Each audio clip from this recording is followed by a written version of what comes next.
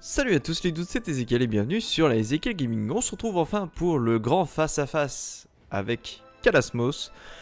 Et on va essayer de le faire en mode rapide. Je vous ferai une vidéo plus détaillée du combat, mais clairement, euh, si, vous si vous en avez marre, que vous voulez absolument finir cette aventure, je vous montre comment le tuer facilement. Une technique qui marche à 100%, à 100% avec quelques prérequis. Alors, le premier prérequis dans votre équipe, ce sera d'avoir absolument le héros qui euh, possède dans son inventaire l'épée de lumière, la super épée de lumière.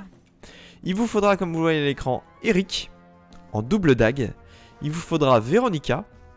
Et il vous faudra Sylvando en double dague aussi. Alors c'est très simple, ça va aller rapide, ça va être rapide, il n'y a pas non plus énormément de choses à faire. On commence et on claque une division avec Eric. Toujours pour faire la même chose, le plus de dégâts possible.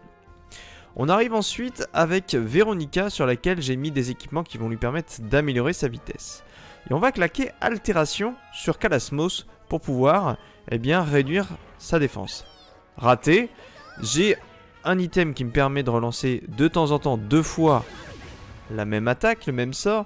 Donc là, on aurait pu diminuer sa défense par deux. C'est pas grave, au moins une fois, c'est déjà très bien. Alors, là où ça va être plus ou moins compliqué, c'est que avec votre autre personnage, euh, votre héros, il va falloir heal pendant ce temps-là, ou vous mettre en double garde, en fonction euh, des PV de euh, vos alliés. Bon là, on va claquer un omni-soin, on va pas faire ça de suite. Il faudra ensuite, avec Sylvando, forcément proquer la morsure de Cobra sur Kalasmos.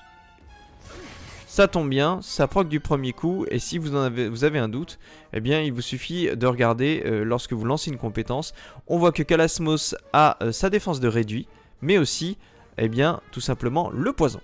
On va pas attaquer tout de suite avec Eric, on va claquer la division encore une fois pour attendre le prochain tour. Véronica ici, on pourra relancer une altération sur Kalasmos pour essayer de reproc encore une diminution défense qui va être ici.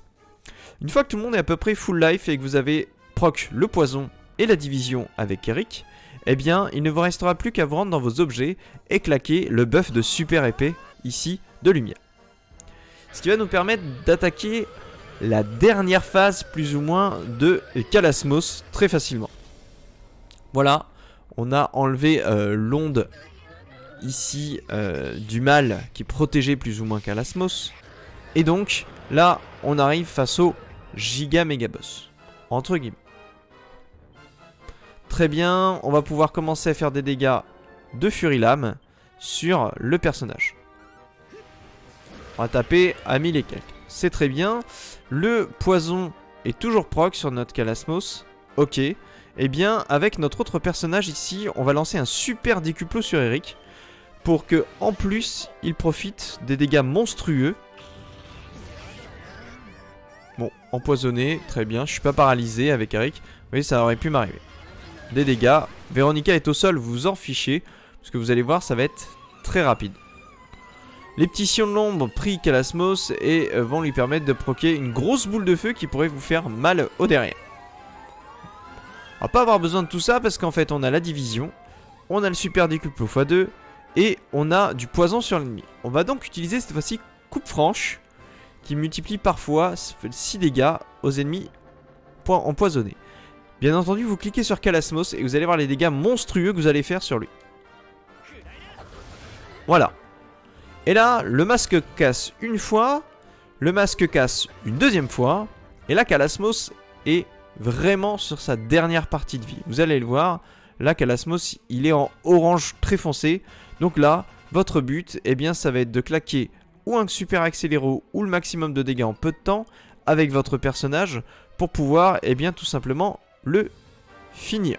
Bon, là je vais jouer le super accéléro pour être sûr que euh, mon personnage, mon héros, passe en priorité et puisse finir Kalasmos à coup de Fury Lame. Si ce n'est pas le cas sur ce tour là, ça sera le cas sur le prochain tour. Attention, il est capable de faire beaucoup de dégâts, il est capable de se healer.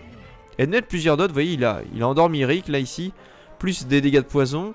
Donc, il est quand même assez efficace. C'est pas grave, on va continuer, on va mettre un super décuplo cette fois-ci à notre personnage principal qui va réattaquer avant Kalasmos. Et normalement, cette dernière Furelame devrait le mettre à terre.